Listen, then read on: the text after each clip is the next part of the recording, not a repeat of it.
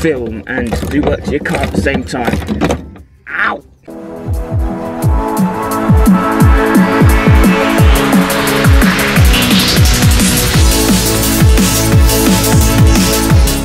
What is going on guys? Welcome back to another video. Now today is the second part of the boot build. I know you guys have been asking for all this stuff.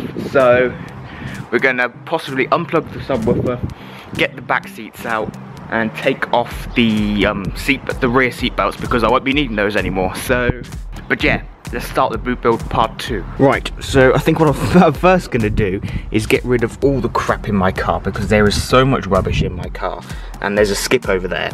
So I can get rid of all this stuff and then start doing some work to it because it might make it a little bit easier, but yes. Let's start getting some of the crap out. There's like receipts here, an old paintbrush has been in here for I don't know how long. All sorts of absolute rubbish. These stickers have seen better days, so they probably could be thrown away. But, you know, all this crap, all this crap can be thrown away. Right, so I've taken refuge in my car because as you can see, it's, well, it's kind of hard, there you go. It's raining.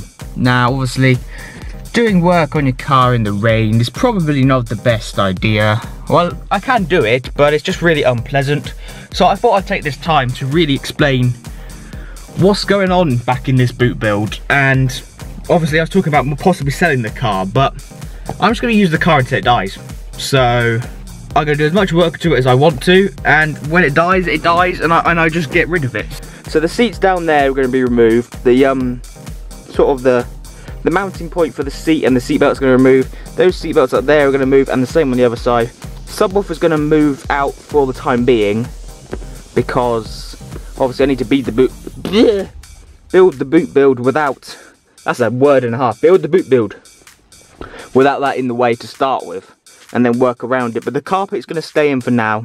Get rid of that and move this paint out of the way because that's annoying. And yeah, that's basically the plan. So hopefully if it stops raining, I can actually continue. I can actually start doing some work because all I've done is cleared out crap in it and it is so disgusting in the back of the car. So, right, so to start with we're going to remove this part of the seat. Now there are these little flaps that sort of tuck in under the seat and there's little screws, if it focuses, little screws here. There's one on each side which you undo and then this sort of goes backwards and then pulls out. You have to get the seat belts out obviously but it's quite a simple thing to do so let's try and do this one-handed. It's going to be difficult. Eh. There we go. Thing is, if I lose a screw down there, I'm not going to be happy. Come on, you. Come on. That's one side out, and then as you can probably tell, that moves pretty well. So do the same on that side, and then we'll put it out. Oh my god, what is all this crap here? I don't think this car's ever been cleaned out since it's been owned. There's an old biro and a, and some next stuff and a train ticket. They went from they went from St Leonard's to Bexhill, wherever that is, on Friday February 2013, 7th. It's amazing what you find in old cars. And a price tag, and some newspaper. This is exciting. I think though, that's it, and a leaf. That leaf, oh my god. And a free pen.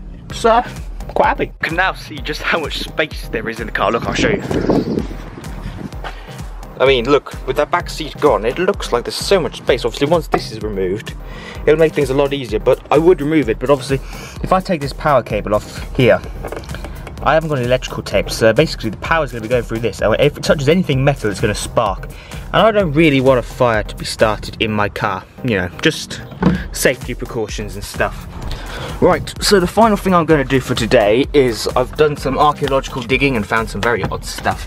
Is I'm going to remove this part. I'm going to leave these parts for next time because I, next time I want to design what the boot build is going to look like and how it's all going to work and stuff like that. So that's going to take a bit of time. So just got to undo this bolt here and yeah, this bolt here and that bolt, and then it all comes off. Yeah, it's just two bolts, so that shouldn't take too long. So let's find the starry attachment thing and get it off. Right, so now we're just gonna get these parts off. Yes, I am using a torque wrench because I cannot find, for the life of me, my socket set. Yeah. yeah, I think what I'm gonna do is put the camera down.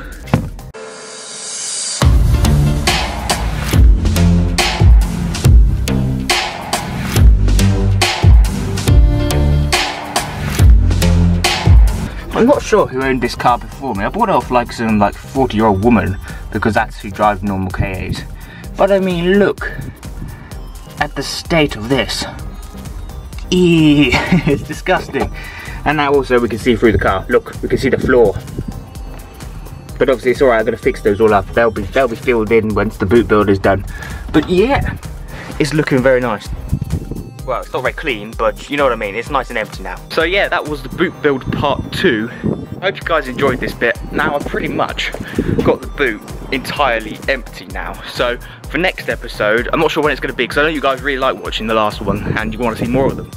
But the next one, I'm not sure what it's going to be because I need to design a boot for it, which is going to take a bit of time because I don't want to rush that sort of thing because, you know, I'm going to be spending a half decent amount of money on it, so I don't want it to look rushed. So next episode I'm going to be just designing the boot build and then the episode of that after that we're actually going to start the proper boot build itself. So that should be good. So yeah, I'd like to thank all you guys for watching this video. Make sure you subscribe if you're not subscribed already. I am so close to 100 subscribers. It is unbelievable. I just, I can't thank you guys enough. So yeah, have a wonderful day guys. And I'll see you lot and my car next time.